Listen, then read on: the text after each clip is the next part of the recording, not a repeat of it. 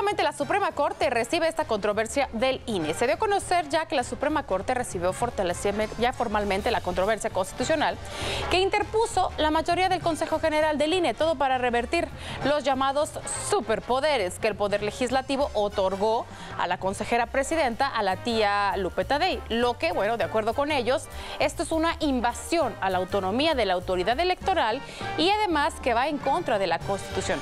Bueno, en esta controversia se pide a la Suprema Corte que considere el interés legítimo de las y de los consejeros, pues los cambios legislativos serían una afectación a la esfera de sus atribuciones. Mire, entre los superpoderes de la tía Tadei figuran atravesar la ley, doblar la ley con su superfuerza y hacer invisible también la ley.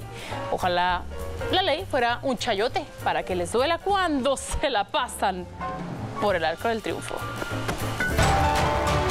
tunita también con espinitas.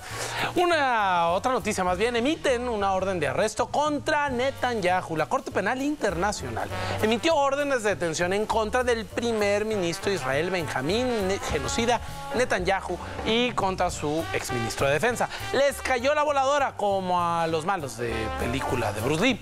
Las órdenes de arresto son también contra funcionarios de Hamas, esto es importante también agregarlo. Los acusan tanto a los extremistas israelíes como a los extremistas árabes de crímenes de guerra y crímenes contra la humanidad por la guerra en Gaza y los ataques de octubre de 2023. Con esta decisión, Benjamín Netanyahu y los demás sospechosos deberán ser buscados internacionalmente, lo que pues los aislará aún más y también los va a complicar los esfuerzos para negociar un alto al fuego que ponga fin pues ya a este conflicto.